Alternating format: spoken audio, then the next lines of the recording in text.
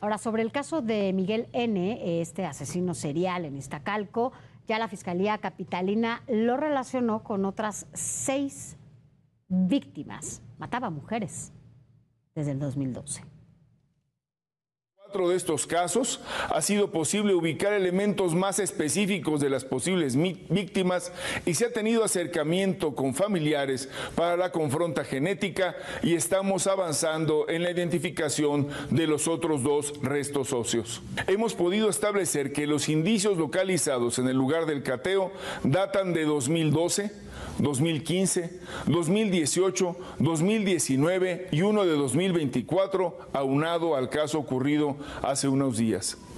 Asimismo, la Policía de Investigación ha podido corroborar que al menos cinco personas de quienes se localizó alguna identificación en el lugar del cateo se encuentran con vida y en buen estado de salud. Bueno, pues así las...